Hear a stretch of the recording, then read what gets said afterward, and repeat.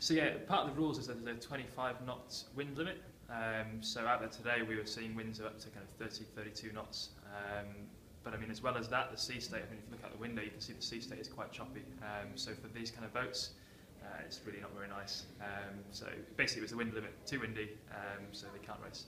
Uh, no, that's it. That's done for today. So we have the two races from yesterday, um, and then that's no more racing today. It's Portsmouth event over. So, so we, we were winners. Obviously, we'd like, like to go sailing. Uh, we think we're quite strong in terms of the breezy, breezy sailing. Um, boat handling wise, we're, we're, we're one of the best we feel. Um, so if we could have got out there today and got a few more races, that would have been great. Um, but unfortunately, the rules say we can't. So that's that. And there's a similar rule. The same thing applies at the lower end, lower end as well. Mm. If the wind is less than a certain amount, then we can't race. Yeah. So it's just to make it fair.